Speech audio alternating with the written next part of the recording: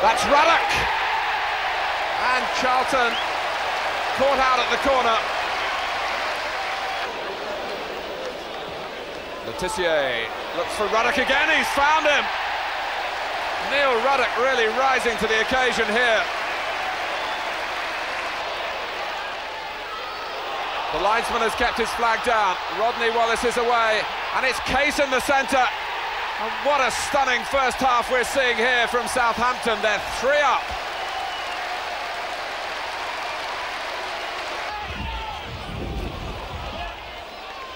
Humphrey. Oh, it's come to Jones. Misjudgment by Osman. Goal for Charlton, 3-1.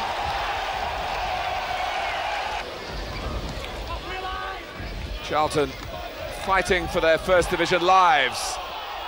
And they've got a free kick. That was handball by Ruddock. A Touch, a second touch for Caton. And then a thump from Tommy Caton.